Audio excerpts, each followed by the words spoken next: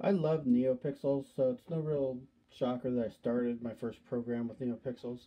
That's a 10 white things at the top there. They are RGB, um, means you co in the red, green, and blue blends, and they are addressable. Also, you can add on NeoPixels, which is good. That's those wires next to it. You need to know what is what, though, which is nice that on the back, they have it labeled ground, battery, and P2 because you have to hook the, the right stuff up. You got to hook P2 signal up to signal on the NeoPixels. And you got to power up to power. So I have just jumper cables out. Um, jumper cables actually have alligator clips and two alligator clips. It could have been to a wire, but I happen to have these uh, NeoPixel strip that have alligator clips on it, which makes it nice and easy for prototyping. Got them at Adafruit. I also have others. So let me turn this on and we'll see some light. As you can see, all of them don't go on. Well, I didn't actually code them all to go on, but you also have to remember that there are 10 neopixels on there.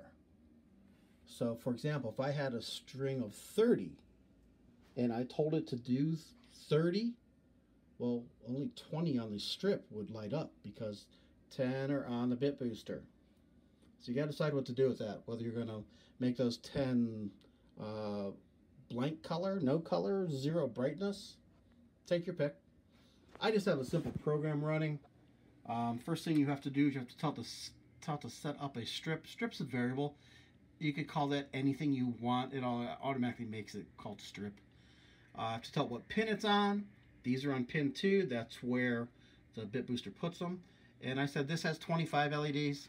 So that means 15 of my strip are lighting up. I originally set the brightness to zero just because I was going to run a little program that kept upping the brightness. Uh, brightness goes 0 to 255, 256 choices at the power of 2 kind of thing. Um, and then I have on there, if I press button A, set the brightness back to 0.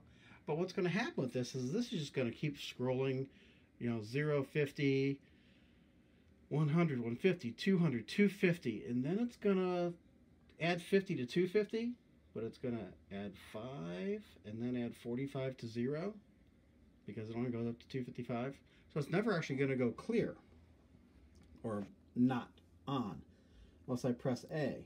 But look and see, if I just press A, it's not going because in my code I have them lit up for two seconds and am I pressing the button at exactly the right time? Again, this is a logic problem.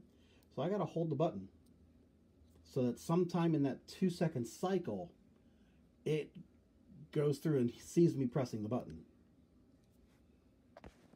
So that's some NeoPixels. I'm not quite sure how many it can power. I've done two strips of 30 before with just this power. Uh, this has 4.5 volts. It has a power divider splitter kind of thing. It sends 3 volts to the uh, microbit because that's all it wants. And then it powers the other stuff with what, it, what, what they need. Uh, so there's some uh, NeoPixels.